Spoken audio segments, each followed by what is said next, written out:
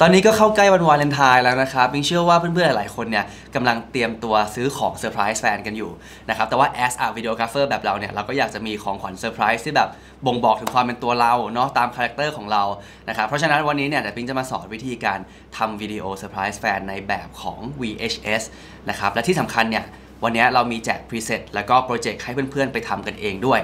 นะครับ งั้นจะเป็นยังไงเดี๋ยวเราลองไปดูกัน You're just too good to be true. Can't take my eyes off of you. You'd be like having to touch. I wanna hold you so much. As long as love has a right.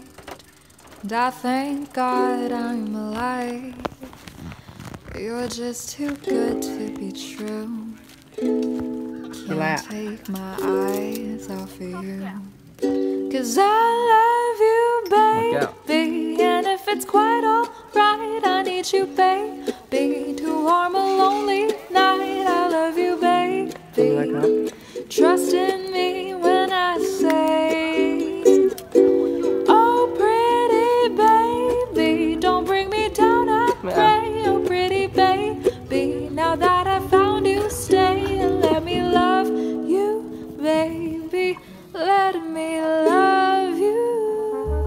โอเคครับวิดีโอที่ทุกคนเพิ่งได้เห็นไปเมื่อกี้นี้นะครับ จริงๆแล้วเป็นวิดีโอที่ปิงทำเซอร์ไพรส์แฟนเมื่อ 2 ปีที่แล้วนี่แหละ ซึ่งอย่างที่ทุกคนเห็นเนาะมันจะเป็นแนวที่เรียกว่า VHS นะครับ VHS เนี่ยคือมันเป็นยังไง คือมันจะเป็น feel feel แบบ Handycam สมัยก่อน เขาจะเรียกกันว่า Daddy's Cam ก็คือเหมือนเป็นกล้องที่แบบคุณพ่อเราใช้นะครับ คือมันจะดูแบบ timeless แล้วก็ดูแบบมี memory เยอะมาก แต่มันจะไม่ได้เก่าถึงขั้นยุคของกล้องฟิล์มนะครับ อะทีนี้การทำ VHS เนี่ย มันทำได้แบบไหนบ้างเดี๋ยวเราไปดูกัน โอเคครับ วิธีแรกที่ปิงใช้นะครับ จะถ่ายจากโทรศัพท์นะครับผ่านแอปพลิเคชันที่ชื่อว่า VHS Cam นะครับทุกคนสามารถไปโหลดกันมาได้เนาะมันใช้งานฟรีนะครับโอเค เราเข้ามาใน VHS Cam นะครับหน้าตามันจะเป็นประมาณนี้อะอย่างที่ทุกคนเห็นนะครับคือมันสามารถเลือกเอฟเฟกต์ได้นะครับอยู่ด้านขวาอ่าเห็นไหมเนี่ยมันก็สามารถ เอ้ยมีน้องฝึกงานตรงนี้ด้วยครับหลบอยู่เนี่ยมันก็สามารถเลือกเอฟเฟกต์ได้ตามที่เราชอบนะครับแล้วก็บนมอนิเตอร์ของมันเนี่ยมันก็จะมีวันที่แล้วก็เวลาบอกด้วยนะครับอะทีนี้ถ้าเกิดเราจะ record เนี่ยเราก็กดปุ่มขวาที่เป็นปุ่ม record ปุ๊บกดเข้าไป เห็นปะทุกคนคือเราสามารถซูมได้ด้วยนะอะมันจะซูมแบบกึกกึกกึกกึกกึกแบบเนี้ยเออจริงๆบิงว่ามันเป็นมูทที่แบบ มันค่อนข้างแบบดูดูเรียวแล้วก็แบบดูเก่าดีเหมือนกันนะอะโอเค ถ้าสมมุติเราเสร็จปุ๊บเราก็กด stop อ่า stop แล้วก็มากดที่ save save ไฟล์ข้างซ้ายล่างอะทีเนี้ยมันก็จะเข้าไปอยู่ใน Camera Roll ของเรา ซึ่งเราก็เอาวิดีโอที่เราถ่ายมาเนี่ยไปเข้า Premiere Pro นะครับแล้วก็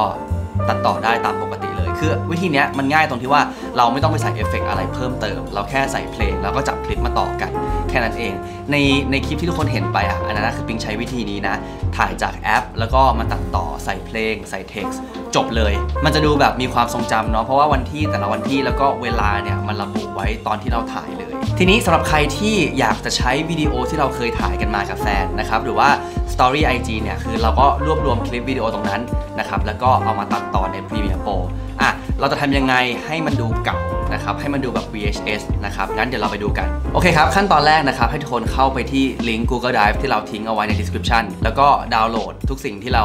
ใส่เอาไว้นะครับพอดาวน์โหลดเสร็จแล้วเนี่ยให้เรามาเปิดที่ตัวโปรเจกต์ของมัน ไปลากวิดีโอที่ทุกคนอยากใช้เนี่ยเอามาลงใน library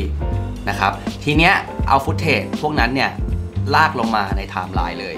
พอเราลาก footage ลงมาในไทม์ไลน์เรียบร้อยแล้วเนี่ยทุกคนจะเห็นได้ว่า footage เราจะไม่ได้หน้าตาเหมือนเดิมแล้วอะมันจะมี mood ของ VHS อยู่ในนั้นอยู่แล้วนะครับเดี๋ยวปิงอธิบายให้ฟังว่าแต่ละอันเนี่ยที่เราทำเนี่ยมันมีอะไรบ้าง layer แรกที่เป็น adjustment layer นะครับที่อยู่เหนือ footage ของเรา นะครับ ตรงนี้เนี่ยคือปิงทำสีแล้วก็ใส่พวก sharpness ให้มันดูไม่คมมากนะครับ เหมือนกล้องสมัยก่อน สีก็ไม่ได้ฉูดฉาดอะไรมากมาย ซึ่งใครจะปรับแต่งสีเพิ่มเติม สามารถปรับแต่งสีใน adjustment layer นี้ได้ layer ที่ 2 นะครับ เหนือ adjustment layer ขึ้นไปนะครับ จะเป็น overlay ของตัว VHS ถ้าเกิดทุกคนสังเกตดีๆเนี่ยคือมันจะมีเวลาวิ่งขึ้นตลอดนะครับแล้วก็มีกราฟิกที่เป็นเพลงนะครับแต่ว่าอันเนี้ยจะแตกต่างกับ ตัวแอปพลิเคชันนิดหน่อยตรงที่ว่าออแอปพลิเคชันเนี่ยมันจะบอกวันและเวลาจริงที่เราถ่ายนะครับ ส่วนอันนี้เนี่ยคือมันจะเป็นเวลา run ขึ้นไปเฉยๆ ส่วน layer ที่3นะครับก็จะเป็น layer ของเฟรม นะครับเราทำให้มันเป็น 4 ต่อ 3 ปกติวิดีโอเนี่ยมันจะเป็น 16 ต่อ9 เป็น Wide Screen ถูกต้องไหมครับ ทีเนี้ยเรา crop ให้มันเหลือ 4 ต่อ 3 เข้ามาแค่นั้นเอง ส่วน layer สุดท้ายนะครับเขาจะเรียกว่าเป็น Split RGB อย่างที่ทุกคนเห็นเนี่ยคือมันจะมีสีแดง สีน้ำเงินเข้ามาในในเฟรมของเรามากขึ้นนะครับให้มันดูแบบไม่เนียบมากนะครับให้มันดูเป็น mood VHS มากขึ้นโอเคครับส่วนต่อไปนะครับจะเป็นเรื่องของการเลือกเพลง นะครับ จริงๆ ทุกคนสามารถไปเลือกใช้เพลงฟรีได้ที่ Audio Library เนาะของ YouTube หรือว่าใครที่มีเพลงในใจอยู่แล้วเนี่ย ก็สามารถโหลดกันมา แล้วก็เอามาแปะในไทม์ไลน์ได้นะครับ แต่อันเนี้ยแอบ concern เรื่องของลิขสิทธิ์นิดหน่อยนะครับถ้าเราทำให้แฟนเฉยๆเนี่ยแล้วก็ไม่ได้ publish อะไรมากมาย ก็ไม่น่าจะมีปัญหาเรื่องลิขสิทธิ์ ส่วนสุดท้ายเนี่ยที่จะทำให้มันดู emotional มากขึ้นก็คือการใส่ text ครับทุกคนเดี๋ยวเราจะมีฟอนต์แจกฟรีอยู่ในเพจเนาะทุกคนสามารถตามกันไปดูได้นะครับแล้วก็ตามโหลดได้เลย นะครับ เราใส่ฟอนต์เข้าไปใส่ข้อความเข้าไปเนี่ยมันจะทำให้เพิ่มแบบว่าความน่ารักมากขึ้นนะครับ อันนี้ก็ลองไปดีไซน์กันเอาเองโอเคครับ ทั้งนี้ทั้งนั้นนะครับ ทุกคนการทำวิดีโอให้แฟนเนี่ยคือมันก็เป็นวิธีการเซอร์ไพรส์ที่น่ารักน่ารักวิธีหนึ่งนะครับ แต่ก็อย่าลืมใส่ความใส่ใจลงไปในนั้นด้วย ทั้งเพลงทั้งเท็กซ์บางอย่างถ้าเกิดเป็นสิ่งที่ เขาชอบเขาเห็นในวิดีโอตัวนี้เนี่ยอาจจะทำให้เขาประทับใจมากยิ่งขึ้นนะครับแล้วปิงเชื่อว่านะ